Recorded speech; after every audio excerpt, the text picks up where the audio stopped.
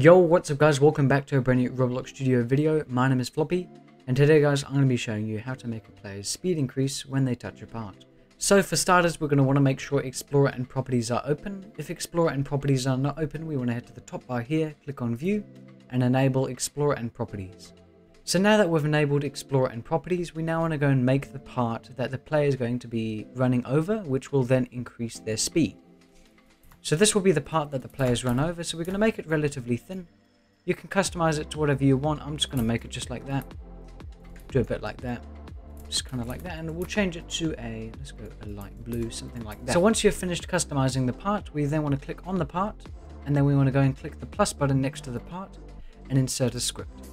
Once you've inserted the script into the part, we then want to go and remove all the previous code that is in the script then you want to go down to the description of this video, copy and paste the code that is in the description, and bring it back to Roblox Studio and paste it into the script. So Control V, right click paste, and paste in the code. So now that we've inserted the code into the script, we are able to adjust a couple things. So here, where it says the walk speed equals 32, this is double the normal walk speed. So the normal walk speed, which is default set into a Roblox game, is 16. So I've already set it to 32 because 16 plus 16, 32. I've, So I've doubled the walk speed. So if the um, humanoid touches that um, this part over here, their walk speed will be increased to 32. So once you've finished adjusting the walk speed, you want to go up here and click X next to the script. And then we want to go and click play and load into the Roblox Studio test place. As you guys can see, we have just loaded into the base plate.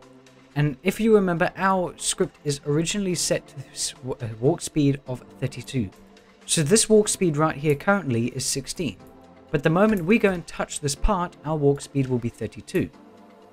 As you guys can see, our walk speed has dramatically increased. And let's say we had to go and reset or, or fall off the map or, or get killed in some way in Roblox.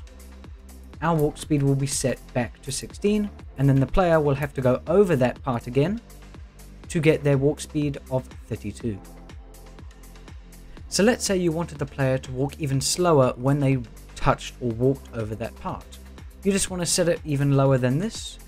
So as we said before, the original walk speed is 16. So let's say you wanted to make it even slower, you just go anything below 16. So I'll give you guys one more demonstration so our current walk speed is 16, but I've gone and set it so when we walk over this part, our walk speed will be changed to 8. So this is current walk speed of 16. The moment we walk over this part, our walk speed will be changed to 8. As you guys can see, it is a lot slower compared to the 16.